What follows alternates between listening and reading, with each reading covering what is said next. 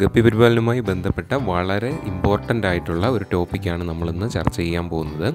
എല്ലാവർക്കും നേരിടുന്ന ഒരു പ്രശ്നമാണിത്. മഴ സമയമാകുമ്പോൾ നമ്മുടെ ഗപ്പികൾ ചത്തുപോകുന്നു. മഴവെള്ളം നേരിട്ട് വീഴാത്ത അവസരങ്ങൾ പോലും നമ്മുടെ ടാങ്കിലെ ഗപ്പികൾ ചത്തുപോകുന്ന അവസരം ഉണ്ടായിട്ടുണ്ട്.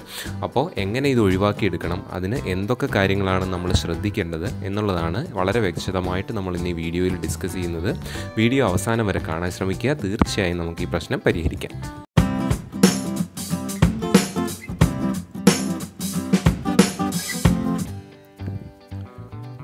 മഴ അങ്ങോട്ട് തുടങ്ങുന്ന സമയത്ത് നമ്മളെല്ലാവരും അനുഭവിക്കുന്ന ഒരു പ്രശ്നമാണ് നമ്മുടെ ഫാമിൽ നമ്മൾ വളർത്തുന്ന ഗപ്പികളൊക്കെ ചത്തുപോകുന്ന ഒരവസ്ഥ നമുക്ക് കാണാൻ സാധിക്കും.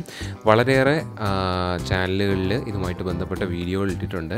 എന്നാൽ നമ്മൾ ഇന്ന് ഈ പറയുന്ന കുറച്ച് കാര്യങ്ങൾ ഒരു നാല് കാരണങ്ങൾ കൊണ്ടാണ് ഇത് പ്രധാനമായിട്ടും വരുന്നത്. ഇത് മാത്രം നിങ്ങൾ ശ്രദ്ധിക്കുകയാണെന്നുണ്ടെങ്കിൽ ഈ മഴക്കാലത്ത് ഗപ്പികൾ ചത്തുപോകുന്ന പ്രശ്നം നമുക്ക് പൂർണമായിട്ടും ഒഴിവാക്കിയെടുക്കാൻ സാധിക്കും. നമ്മുടെ ഗപ്പികളെ എല്ലാം നമുക്ക് സംരക്ഷിച്ച് കൊണ്ടുപോകാനായിട്ട് സാധിക്കും.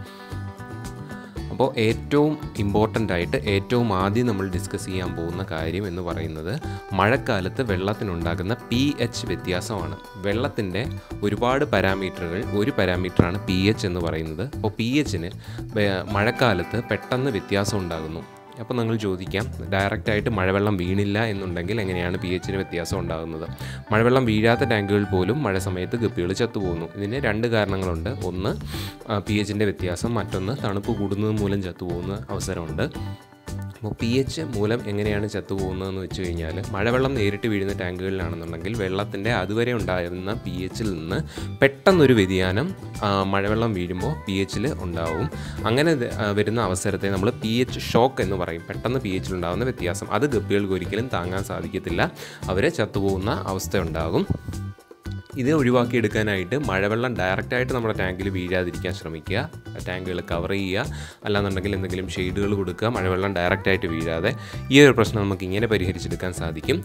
മഴവെള്ളം വീഴാത്ത സമയങ്ങളിൽ പോലും പി എച്ചിന്റെ വ്യത്യാസം ഉണ്ടാവും. കാരണം ഗപ്പികൾക്ക് നമ്മൾ രണ്ട് മൂന്ന് ദിവസം കൂടുമ്പോൾ അല്ലെ ആഴ്ചയിൽ ഒരിക്കലൊക്കെ നമ്മൾ അടിയിൽ നിന്ന് വേസ്റ്റ് വലിച്ച് കളഞ്ഞതിന് ശേഷം പുതിയ വെള്ളം നമ്മൾ ഒഴിച്ചു കൊടുക്കുന്നു. അപ്പോൾ പുതിയ വെള്ളം ഒഴിച്ചു കൊടുക്കുമ്പോൾ മഴ പെയ്തുകൊണ്ടിരിക്കുന്ന സമയത്ത് നമ്മൾ കിണറിൽ നിന്നാണ് ടാങ്കിൽ വെള്ളം അടിച്ചതിന് ശേഷം നമ്മൾ നമ്മുടെ ഗപ്പികളുടെ ടാങ്കിലേക്ക് അടിയിൽ നിന്ന് വേസ്റ്റ് വലിച്ച് കളഞ്ഞ വെള്ളത്തിന് പകരം നമ്മൾ വെള്ളം ഒഴിക്കുമ്പോൾ ഈ പി എച്ച് വ്യത്യാസം വന്ന വെള്ളമാണ് നമുക്ക് ടാങ്കിലേക്ക് നമ്മൾ ഒഴിച്ചു കൊടുക്കുന്നത്. അപ്പോൾ സംഭവിക്കുന്നത് പെട്ടെന്ന് പി എച്ചിന് വ്യത്യാസം ഉണ്ടാകുകയും ഗപ്പികൾക്ക് അത് താങ്ങാൻ പറ്റാതാവുകയും ചെയ്യും. അങ്ങനെ ഗപ്പികൾക്ക് പി എച്ച് വ്യത്യാസം ഉണ്ടായി പി എച്ച് ഷോക്ക് കൊണ്ടിട്ട് ചത്തുപോകുന്ന അവസ്ഥ ഉണ്ടാകും അപ്പോൾ പി എച്ച് വ്യത്യാസം കൊണ്ട് ഈ രണ്ട് രീതിയിലാണ് ഉണ്ടാകുന്നത് ഡയറക്റ്റായിട്ട് വെള്ളം വീഴുന്നത് മൂലവും മഴ സമയത്ത് നമ്മൾ വാട്ടർ ചേഞ്ചുകൾ കൊടുക്കുന്ന സമയത്തും പി എച്ച് ഷോക്ക് ഉണ്ടായതിനു ശേഷം ഗപ്പികൾ ചത്തുപോകും. അപ്പോൾ ഇതിന് നമുക്ക് ചെയ്യാൻ പറ്റുന്ന ഒരു കാര്യം എന്ന് പറയുന്നത് നമ്മുടെ പി എച്ച് നമ്മളെ വെള്ളത്തിന്റെ പി എച്ച് നമ്മളൊന്ന് ടെസ്റ്റ് ചെയ്ത് വെക്കുക. വെള്ളത്തിന്റെ പി എച്ച് എങ്ങനെയാണ് ടെസ്റ്റ് ചെയ്യുന്നത് എന്ന് ചോദിച്ചു കഴിഞ്ഞാൽ നമ്മൾ വീഡിയോയിൽ വ്യക്തമായിട്ട് ഇനി പറഞ്ഞു തരാം വെള്ളത്തിന്റെ പി എച്ച് എങ്ങനെ നമുക്ക് ടെസ്റ്റ് ചെയ്യണം. അപ്പോൾ പി എച്ചിന്റെ വ്യത്യാസം വരുത്താതെ തന്നെ നമുക്ക് എങ്ങനെ മഴക്കാലത്ത് വാട്ടർ ചേഞ്ച് ചെയ്യാം.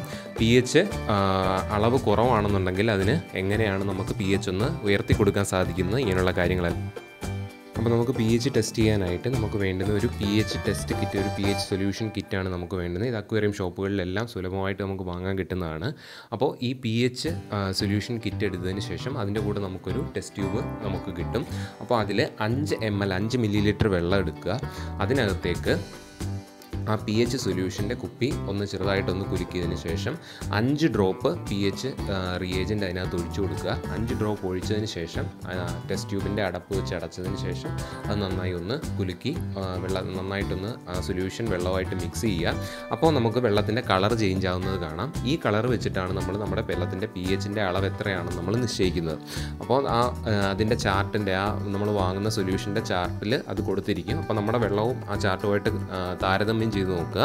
അപ്പോൾ നമുക്ക് നമ്മുടെ വെള്ളത്തിന്റെ പി എച്ച് കണ്ടുപിടിക്കാൻ സാധിക്കും. ഇങ്ങനെ നമ്മൾ വെള്ളത്തിന്റെ പി എച്ച് കണ്ടുപിടിച്ച് വെക്കുക. വെള്ളം ചേഞ്ച് ചെയ്യുന്നതിന് മുന്നേ ഇനി നമ്മൾ മാറാൻ ഉദ്ദേശിക്കുന്ന വെള്ളം വീണ്ടും ഈ പി എച്ചിലെടുത്ത് നമ്മളിപ്പോൾ കാണിച്ചതുപോലെ ഈ ടെസ്റ്റ് ട്യൂബിലെടുത്ത് ഇപ്പോൾ കാണിച്ചതുപോലെ ടെസ്റ്റ് ചെയ്ത് നോക്കുക. അപ്പോൾ സെയിം പി എച്ച് ആണ് ഒരേ പി എച്ച് ആണെന്നുണ്ടെങ്കിൽ ഒരു പ്രശ്നമില്ല നമുക്ക് മാറാം. പക്ഷേ മഴക്ക മഴക്കാലത്ത് വെള്ളത്തിന് സാധാരണ നമ്മുടെ കേരളത്തിൽ കണ്ടുവരുന്നത് പി എച്ച് കുറഞ്ഞാണ് വരുന്നത് അഞ്ച് അഞ്ച് പോയിന്റ് അഞ്ച്. സാധാരണ സമയത്ത് ആറ് മുതൽ എട്ട് വരെ ആയിരിക്കുന്ന പി എച്ച് മഴക്കാലത്ത് അഞ്ചര അഞ്ച് എന്നുള്ള അളവിൽ നമുക്ക് കാണാം. അപ്പോൾ നമ്മൾ ചെയ്യേണ്ട ഒരു കാര്യം എന്ന് പറയുന്നത് ഒരു ഗ്ലാസ് വെള്ളത്തിലേക്ക് ഒരു നുള്ള് നമ്മുടെ സോഡ പൊടി എന്ന് പറയും ബേക്കിംഗ് സോഡ ഒരു നുള്ളു ബേക്കിംഗ് സോഡ ഇട്ടതിന് ശേഷം നമ്മൾ വെള്ളം ഒന്ന് ബഫർ ചെയ്യാനായിട്ടാണ്. അപ്പോൾ ഒരു നുള്ളു ബേക്കിംഗ് സോഡ ഇട്ട് ഒരു ഗ്ലാസ് വെള്ളത്തിൽ അലിയിപ്പിച്ചതിന് ശേഷം നമ്മുടെ ടാങ്കിലേക്ക് നമ്മൾ വാങ്ങ മാറുന്ന വെള്ളത്തിലേക്ക് ഒഴിച്ചു കൊടുക്കുക. എന്നിട്ട് നമ്മൾ വീണ്ടും ചെക്ക് ചെയ്യുമ്പോൾ നമ്മുടെ വെള്ളത്തിന്റെ പി എച്ച് ഉയർന്നതായിട്ട് കാണാം.